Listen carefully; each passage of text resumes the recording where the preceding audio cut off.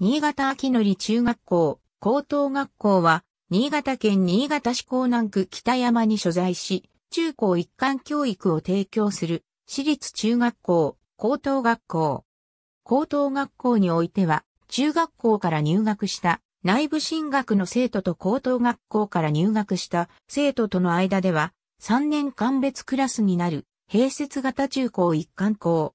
夜間中学校として、勉学に励みたいと思った労働者たちが、近隣の公立学校の教師に依頼し、学習生活が始まったことが起源。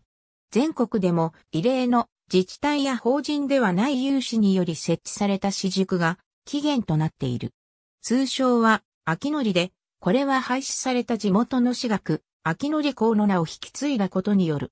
旧校舎の老朽化により、新潟市中央区、川岸町から場所を変え、2004年に現在の新潟市港南区北山に新校舎が落成した。2007年4月に中等部を設置し、中高一貫教育を開始した。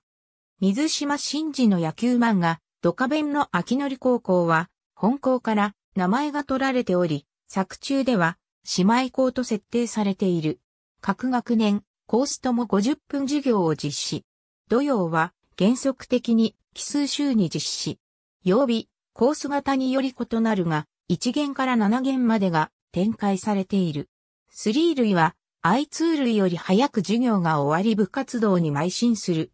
野球部は初出場以来春1回、夏7回の甲子園出場を果たしており、新潟県内では高校野球の強豪校として知られる。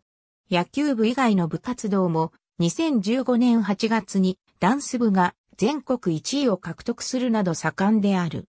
近年では、高校1年時にアメリカ合衆国やオーストラリアなどを行き先とする選択制海外研修が行われるなど、グローバル教育が盛んである。全日本高校模擬国連大会に多く出場していることも特筆される。